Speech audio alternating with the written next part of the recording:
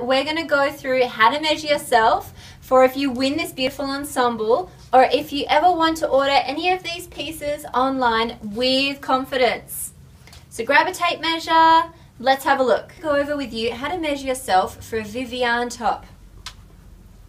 The beautiful soft stretch jersey means it's got a lot of give. So you've probably got about 10 centimeters above what the size guide says that it's going to fit because you can see it's quite stretchy.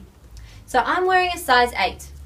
So I'm going to measure the size 8 Vivianne top at the bust because that's the main point you don't want it to pull. And for the bust of the Vivianne, we get 74. So it should give up until about 84 a really nice look. So my bust is 84 centimeters. So the size 8 which in the size guide says it's 74 through the bust, is giving me a perfect fit for my bust that's 84 centimeters. So it's got a nice amount of stretch. So you just have to do the same with the waist and same with the high hip. So the length of the top comes down to about there. So that's how you measure yourself for the Vivianne top. I'm going to show you how to measure yourself for an underbust Victorian corset. Measuring yourself for a corset can be a bit tricky. So if you're ever unsure, please contact us. We can help you with measurements, we can give you advice, and we can help you pick the correct size. So I'm going to use myself as an example. For, to start, you need a nice firm waist measurement. I have a waist measurement of 66 centimeters. So for corsetry, we just need to turn that into inches. So I've got a waist measurement of 26 inches.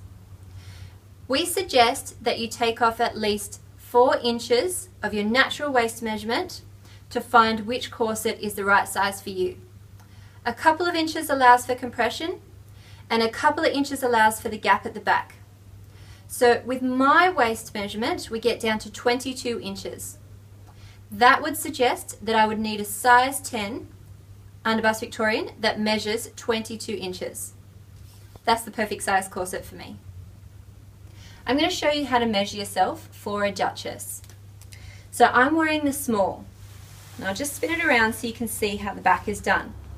So there's two buttonholes and there's three buttons. I'll just show you. So you have one, two, three positions you can wear the skirt. I wear my skirts quite waisted, so I'm going to do it up on the first set of buttons.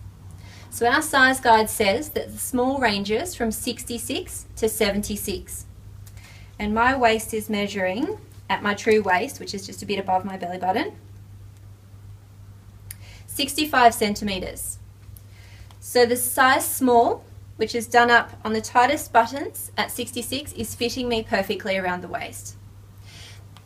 You also have the option, if you want to, of moving it across for a bit more comfort to the next set, which makes it 5 centimeters bigger, or to the last set,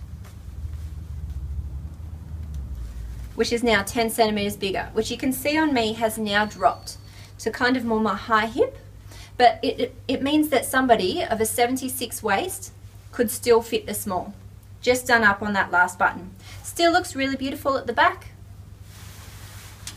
But on me you can see it just sits a little bit lower.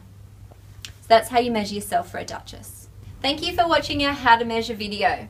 I hope it was helpful and that it gives you a bit of confidence choosing the correct size for you if you're the winner of this beautiful ensemble, or even if you're looking to put together a Victorian ensemble for another occasion. Thank you.